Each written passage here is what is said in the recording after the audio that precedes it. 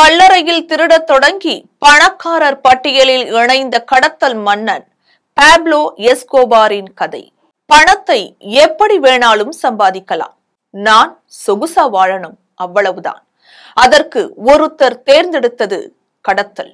இன்றளவும் உலகில் பல பில்லியன் டாலர் புழங்கும் சட்டவிரோத தொழில்களில் முன்னணியில் இருப்பது போதைப் பொருள் வர்த்தகம்தான். உலகின் மிகப்பெரிய கடத்தல்காரன் உலகின் அதி பணக்காரர்களில் ஒருவராக எப்படி ஆக முடிந்தது?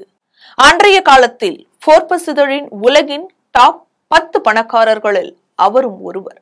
சினிமாவில் மட்டுமே பார்த்திருந்த அந்த கடத்தல் மன்னன் தான் பாப்லோ எஸ்கோபார் இவர் ஒரு கடத்தல்காரர் போதைப் பொருள் கடத்தல் பேர்வழி. ஆயிரத்து தொள்ளாயிரத்து எழுபதுகளின் முற்பகுதியில் கோகைன் வர்த்தகத்தில் நுழைந்தார். மற்ற குற்றவாளிகளுடன் இணைந்து மெடலின் கோட்டலை உருவாக்கினார். ஆதரவற்றவர்களுக்கான துண்டு திட்டங்கள் கால்பந்து கிளப்புகளுக்கு நிதியுதவி அளிப்பதன் மூலம் அவர் மக்களிடையே பிரபலமடைந்தார். அவருக்கு மக்களிடையே செல்வாக்கு கூடியது பின்னர் ஆயிரக்கணக்கானோரின் கொலைக்கு அவர்தான் காரணம் என்று தெரிந்த பிறகு அவருக்கு எதிராக பொது கருத்து உருவாகியது. எஸ்கோபார் டிசம்பர் ஒன்று ஆயிரத்து தொள்ளாயிரத்து நாற்பத்து ஒன்பது அன்று கொலம்பிய நகரமான ரியோனெக்ரோ ஆன்டியோகியாவில் பிறந்தார். அவரது குடும்பம் பின்னர் என்பிகாடோவின் புறநகர் பகுதிக்கு குடிபெயர்ந்தது. எஸ்கோபார் ஒரு சாதாரண குடும்பத்திலிருந்து வந்தவர். அவரது தாயார் பள்ளி ஆசிரியராக இருந்தபோது அவரது தந்தை விவசாயியாக பணிபுரிந்தார்.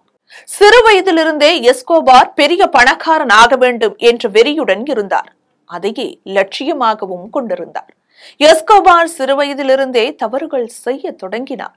குற்ற வாழ்க்கையை ஆரம்பத்திலேயே துவங்கினார். கல்லறைகளில் இருக்கும் விலை உயர்ந்த கற்களை திருடி விற்றார். போலியான சான்றிதழை தயாரித்து விற்றார். பிறகு கார்களை திருடத் தொடங்கினார். இறுதியில் கடத்தல் தொழிலில் இறங்கினார்.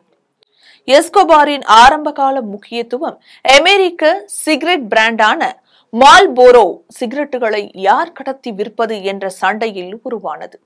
அதில் அவர் கொலம்பியாவின் கடத்தல் சிகரெட் சந்தையில் கணிசமான பங்கை கொண்டிருந்தார். இந்த கடத்தல் சிகரெட்டிலிருந்து அப்படியே போதை கடத்தலுக்கு வழிவகுத்தது. ஆயிரத்து தொள்ளாயிரத்து எழுபத்து ஆறில் எஸ்கோபார் பதினைந்து வயதான மரியா விக்டோரியா ஹெனாவோவை மணந்தார். தம்பதியருக்கு இரண்டு குழந்தைகள் இருந்தனர். ஒரு மகன் ஜூவான் பாப்லோ. மற்றும் ஒரு மகள் மேனுபேலா இன்று எஸ்கோபாரின் மகன் செபாஸ்ட்ரியன் மரோக்கோவின் சேற்றில் முளைத்த செந்தாமரையாய் ஒழுக்க சீலராக விளங்கினார். அவருக்கு அவர் அப்பாவின் கடத்தல் தொழில் சிறிதும் பிடிக்கவில்லை. அவர் ஒரு ஊக்கமளிக்கும் பேச்சாளராக இருந்தார். மொரோக்கோவின் கட்டிடக்கலையில் உயர் படிப்பு முடித்தார். இரண்டாயிரத்து பதினைந்தாம் ஆண்டு அவர் பாப்லோ எஸ்கோபார் மை ஃபாதர் எனும் புத்தகத்தை எழுதி வெளியிட்டார். இந்த நூல் உலகின் மிக மோசமான போதைப் பொருள் அரசனுடன் வளர்ந்த கதையை சொல்கிறது. மேலும் அவர் தனது தந்தை தற்கொலை செய்து கொண்டார் என்றும் கூறியுள்ளார். பிரான்ஸ் நாட்டின் ஊடகம் ஒன்றிற்கு அளித்த நேர்காணலில் அவர் தனது தந்தை மோசமான நபர் என்று கூறினார். ஒரு சமூகமாக நாம் ஒருபோதும் செய்யக்கூடாத செயல்களை செய்தார். அது சுய அழிவுக்கான பாதை என்பது அவருக்கு தெரியவில்லை. ஒழுக்கமான வாழ்க்கை வாழவில்லை. ஒரு போதைப் பொருள் மன்னனது மகன். இப்படி பேசுவது அதிசயமான ஒன்றுதான். எஸ்கோபாரின் பசுமையான மற்றும் விரிந்த தோட்டம் அசிகண்டா நெப்போல்ஸ் என்று அழைக்கப்படும். அதில் உலகெங்கிலும் உள்ள கவர்ச்சியான விலங்குகளால் நிரப்பப்பட்ட ஒரு மிருக காட்சி சாலை மற்றும் அதன் தோட்டங்களில் ஒன்றில் டைனோசர்களின் பெரிய சிற்பங்கள் ஆகியவை அடங்கும். கோகைன் வர்த்தகத்தில் கொலம்பியா ஆதிக்கம் செலுத்தியது தற்செயலாக அல்ல. ஆயிரத்து தொள்ளாயிரத்து எழுபதுகளின் முற்பகுதியில் இந்நாடு கஞ்சாவின் முதன்மையான கடத்தல் இடமாக மாறியது. ஆனால் கொலம்பியா முதலிடத்தில் இருந்தது. அமெரிக்கா தான் தாயகம். எஸ்கோபார் மிக சாமர்த்தியமாக கோகைன் கடத்தலை கையாண்டார். ஆயிரத்து தொள்ளாயிரத்து எழுபத்தி ஐந்தாம் ஆண்டில் கொலம்பியாவின் மெடலின் நகரத்தைச் சேர்ந்த போதைப்பொருள் கடத்தல்காரர் ஃபேபியோ ரெஸ்ட்ரெப்போ கொலை செய்யப்பட்டார். எஸ்கோபார் தான் அந்த கொலையை செய்தார் என்று கூறப்பட்டது. பின்பு இவர் அதை உலக அளவில் விரிவுபடுத்தினார். ஆயிரத்து தொள்ளாயிரத்து எண்பதுகளின் நடுப்பகுதியில் எஸ்கோபார் முப்பது பில்லியன் டாலர் மதிப்புடைய நிகர மதிப்பை கொண்டிருந்தார். மற்றும் ஃபோர்பஸ் பத்திரிகையால் பூமியில் உள்ள டாப் பத்து பணக்காரர்களில் ஒருவராக பெயரிடப்பட்டார். சினிமாவில் வருவது போல பெரிய பணக்காரர் ஆனார் ஒரு லியர்ஜெட் விமானத்தை வாங்கினார்.